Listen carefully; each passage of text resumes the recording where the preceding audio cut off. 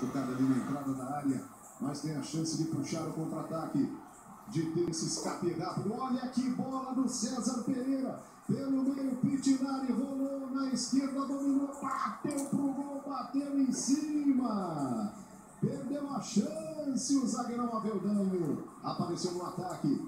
Voltou o Quiroga, o zagueirão virou atacante. Na saída rápida ali no contra-ataque.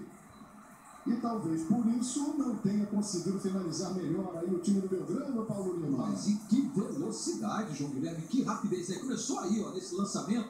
E como é que o César Pereira pega, vendo como ele domina. É bom o César Pereira, hein, Paulo? É só como ele abre pela esquerda, João, com rapidez e a presença surpresa, né? É zagueiro, não tem habilidade na conclusão, mas é que a perna direita que é a boa, teve que tirar da esquerda para ajeitar para a direita para chegar o chute, e aí chegou a defesa do Vélez e fez exatamente a cobertura.